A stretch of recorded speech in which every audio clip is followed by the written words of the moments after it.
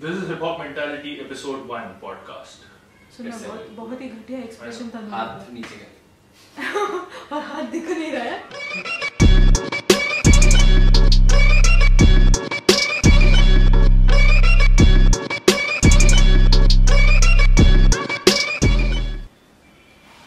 तो शुरू करते हैं। यस आज का टॉपिक क्या अपना बंटा बच्ची बम्बाई रैपर्स आ, सबसे पहले क्या आता है दिमाग बंटा बच्ची बम्बाई रैपर्स सबसे पहला आएगा नेजी दबा नेजी दबा द ओजी द ओजी मतलब उसने आफत लाया था तब एक्चुअल आफत आ गई थी हम्म। यूट्यूब पे। उसके बाद अपना उसके बाद एमिवे बंटा है जिसके मुँह से एक्चुअल में ये लाइंस सुने हैं बंटा बच्ची बम्बाई। मतलब मुंबई के स्ट्रीट्स पे तो हम लोग अक्सर सुनते जाते बचपन से तीसरा नाम अगर आएगा तो मतलब डिवाइन नॉट एग्जैक्टली बंटा बच्ची बट स्ट्रीट बट स्ट्रीट। गली बेसिकली उसका गली यूएसपी है तो उसी के ऊपर पूरा बनाता है। Right but the point is Divine ने ट्रांजिशन किया। डिवाइन इंग्लिश रैप करता था और उसके बाद उसने स्विच स्विच कर दिया हिंदी पे बिकॉज़ समझा उसको। पब्लिक को क्या चाहिए? पब्लिक को क्या चाहिए? मतलब cut to three four years अभी क्या सीन है? अभी बंटा बच्ची बमाए बोलेंगे।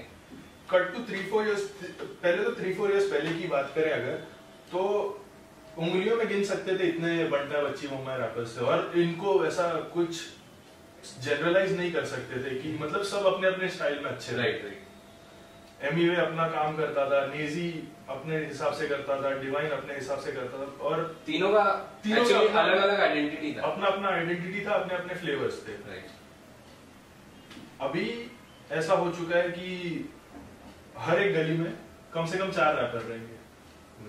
राइट धारावी में आप चले जाओ हर जगह लोग मतलब स्वैग वाले कपड़े पहन रहे हैं। उनका लाइफस्टाइल बन चुका है। अच्छी बात है मतलब they are doing it good well and good but to mimic something ये सही नहीं लगता है। कितना अपीलिंग है ये बंटा बच्ची में? काफ़ी अपीलिंग है। काफ़ी। काफ़ी कैची है। काफ़ी कैची है। तुम आ रेला जा रेला वंटा है ये सब बोलोगे तो लोगों को भी हाँ मतलब आजकल आजकल नॉर्मलाइज कर दिया बेसिकली ये ये नॉर्मलाइज हो चुका है। राइट बंटा है बोलेंगे या फिर मतलब अगर तुम आज के टाइम में ना अगर तुम बाहर जा रहे हो रैप भी करने को अभी लोग देख के बोलेंगे अरे गरीब है अरे बंटा है। और ऐसा तू भी ऐसा करता है कि नहीं? यो यो। तो नॉर्मल जो पब्लिक है उनको लगता है कि यही हिप हॉप हो यही गया हिप हॉप हो गया यही हिप हॉप हो गया यही हिप हॉप हो गया। मतलब जब नेजी ने ये कॉइन किया था बट्टा बच्ची बम्मा तब उसका क्या माइंडसेट था क्या नहीं था वो right no one knows but आज उसकी शक्तियों का गलत इस्तेमाल हो रहा है। तो ठीक है चलो जो भी है आज के भी रैपर्स आ रहे हैं they are doing their own thing but mimicking something basically वही आ जाता है। The whole point is mimic कर रहे हैं। आई अंडरस्टैंड है उन्होंने भी रैप जब चालू किया मिमिक किया है वेस्टर्न से। राइट बट एक सर्टेन पॉइंट के बाद वो समझ गए कि उससे काम नहीं चलने काम नहीं चलने वाला है उससे। फिर वो लोग अपने ट्रैक्स बना मतलब अपने ट्रैक फिर उसके बाद आई एक मूवी गली बॉय गली बॉय उसके बाद क्या हुआ फिर? गली बॉय ने एक चीज़ बहुत अच्छी की है। गली बॉय ने रणवीर सिंह को रैपर बना दिया। आज रणवीर सिंह चप्पल की आड़ में रैप कर रहा है। ठीक है उसको रैपर उसको पहले से रैपिंग का शौक था वो right ladies versus Ricky Bahl में भी उसने शायद किया था। हम्म, अच्छा है। But as a rapper rapper उसको मतलब लोग आज देख रहे हैं कि हाँ रणवीर सिंह भी रैप कर सकता है क्योंकि वो बॉलीवुड बॉलीवुड का रैपर हो गया। है ये ट्रेंड कब तक चलेगा? बता नहीं सकते। यू नेवर नो क्योंकि एक एक पॉइंट था जब ट्रैप आया था हिप हॉप के मतलब बड़े बड़े हिप हॉप हेड्स ने उनको रिजेक्ट किया था। अपोज किया था। अपोज किया था बहुत ज़्यादा। मतलब जब मीगोस ने वसाची वसाची किया था लोगों को समझ में नहीं आया था। अच्छा लगता था सुनने को। राइट लेकिन ओजीज और रैपर्स इन लोग तभी भी अपोज करते थे उसको। हम्म। और आज भी करते आ रहे हैं। एमिनेम ने अपने पिछले एल्बम में ही काफ़ी मतलब ट्रैप को ट्रैप के अगेंस्ट रहा है। लॉजिक भी आज अभी बोलता है there is a time and a place for this but bars चाहिए। Rapping is bars rap start से ही बार्स थे। और हमेशा ही रहेंगे। आई होप तो ये ट्रेंड मतलब हिप हॉप जब पकड़ता है ना ट्रेंड तो वो पकड़े ही रखता है। उसके लिए नहीं रहता है कि मतलब जो भी हिप हॉप में आता है वो इनकलकेट कर लेता है। करेक्ट उसकी भी एक अलग ऑडियंस बनी जाती है। ऑडियंस बन ही जाती है। ट्रैप हो या फिर कोई भी मतलब ऐसा कोई भी जॉनर पकड़ लो जो हिप हॉप में आ गया वो आ गया है। इंडियन म्यूज़िक ने भी वैसे ही किया। अभी दिल्ली सीन देख लो। दिल्ली सीन आज़ादी रिकॉर्ड्स अरे फाड़ रहे हो बहुत फाड़ में उन लोग। मतलब आज़ादी रिकॉर्ड्स ऐसा एक भी दिन नहीं है कि आज़ादी के रिकॉर्ड्स में से उन लोगों के एक भी गाने नहीं सुने मैं रोज उनके एक, एक ना एक गाने सुनता हूँ। राइट प्रदीप ने अभी ऑन एल्बम निकाल दिया किंग किंग एल्बम वो मतलब पीक पे पहुँच चुका है। उसका जनरल जो ऑडियंस है जो हिप हॉप सुन रही है उन तक वो नहीं पहुँच पा रहे। नहीं वो पहुँच रहा है। मतलब जो हिप हॉप हिप हॉप सुनती है उन तक पहुँच रहा है। राइट जो नहीं सुनती है उन तक नहीं पहुँच पा रहा है। मुंबई सीन आज अगर देखा जाए तो सिर्फ़ बंटा बच्ची बम्बई रैपर से ही जाना जाता है। राइट जबकि उसको छोड़ के कितने सारे रैपर्स हैं? तुम श्रेयस सागवेकर को सुन लो।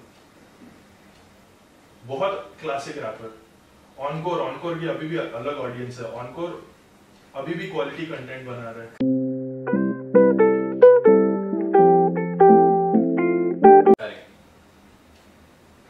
लेकिन इसमें अब ऑनकोर की बात आई है तो ट्रांजिशन रैपर्स भी थोड़ा देखना चाहिए। राइट तो ट्रांजिशन मतलब क्या? ट्रांजिशन बेसिकली जो पहले रैप करते थे अपने हिसाब से अपने खुद के फ्लो में अपने खुद के केडेंस में जिन्होंने ये देखा कि ट्रेंड चल रहा है और उसमें अडाप्ट कर लिया। करेक्ट इसमें मेरे ख्याल से सबसे पहला नाम मेरे लिए तो डी डी इविल आता है। डी इवल आता है। राइट पहले वेस्टर्न इन्फ्लुएंस था जो वेस्टर्न हिप हॉप था इंग्लिश हाँ। वो लोग वो प्रेफर करते थे बट अभी क्या हुआ? अभी मतलब उसने अपना खुद का उसने भी पत, बेसिकली पता कर लिया है कि ये चलता है बट उसने अपने क्वालिटी को डाउनग्रेड नहीं करने दिया। हम्म, अभी भी डाउनग्रेड करने नहीं दिया। उसने वो अभी भी फ्लोज लेकर आता है। वो अभी भी पंचलाइंस लेकर आता है उसके पंचलाइंस अभी भी हार्ड हिटिंग रहते हैं। राइट बस इतना ही है उसने अपना लैंग्वेज चेंज कर दिया है। राइट और उसने अपने स्लैंग्स चेंज कर दिए हैं। तो ट्रेंड के हिसाब से ट्रेंड के हिसाब से चेंज करना चाहिए लोगों ने। हाँ। आज जे कोल देखता है ट्रैपर्स के साथ में वो गाने बना रहा है। क्योंकि उसको पता है ट्रेंड के साथ में बदलना चाहिए। नहीं तो तुम लोग ओल्ड हिप हॉप हेड से एमसी स्टैन के बारे में क्या है एमसी स्टैंड एमसी स्टैंड मेरा गिल्टी प्लेजर है। एमसी बैकग्राउंड के एमसी स्टैंड के हर एक गाने का हर एक लिरिक्स मुझे पता है। आई हेट हिम लोग लोग उस लिरिक्स को हेट करते हैं लेकिन एक्चुअली नहीं मतलब मुंबई की आधी ऑडियंस बिकॉज़ वो एमबीवे की फ़ैन है एमसी स्टैन का वो प्रोडक्ट नहीं समझ पाती MC Oh, I'm not an Stan anime fan also. Let's leave him out of this debate first of all वो बंटा है बच्ची मम्मा रैपर भी नहीं। इन कंक्लूजन इन कंक्लूजन मतलब जैसा चल रहा है वैसा चलने दो। क्योंकि इसको तो चेंज नहीं कर सकते। Right. But I hope audience थोड़ी मेच्योर हो जाए लेकिन सुनने के लिए। That's all. ओके तो तू बने शेख और मैं भी हूँ शेख दोनों बाय बाय लेकिन तेको हर चीज़ की लगी लिगाई जरा समझ मेरे भाई मेरे भाई मेरे भाई तुझे बहुत अच्छा पाए तुझे समझत करना मेरी माँ मेरे को खाने में हिप हॉप खिलाए